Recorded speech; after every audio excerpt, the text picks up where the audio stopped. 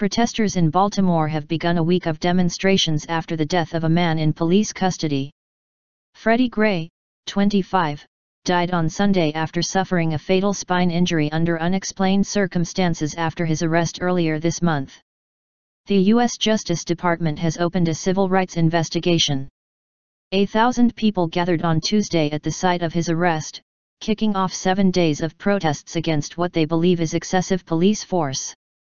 As people raised their hands, Pastor Jamal Bryant, one of the demonstration's organizers, said the gesture was not an act of surrender. It's a sign of strength, of one unity and one commitment that we will not rest until we get justice for Freddie Gray, he said. Gray was arrested on April 12. Officials said that he ran away after he made eye contact with officers on patrol. Officers pursued him and took him into custody minutes later. The officer's reasoning for detaining Gray is not clear. There is no law against running, Police Commissioner Anthony Batts told reporters on Monday. Running while black is not probable cause, Billy Murphy, a lawyer hired by the Gray family, said.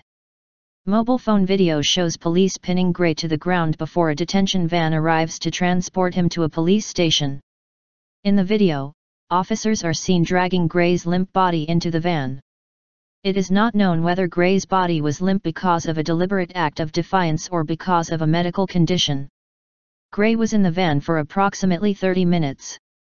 At one point, police stopped to put Gray into leg shackles after determining he had become irate. He asked officers for medical care on multiple occasions, Mr. Batts said. He was eventually rushed to hospital where he lapsed into a coma and died a week later. A national debate over the use of police force has been going on since last summer, when a black teenager was killed in Ferguson, Missouri.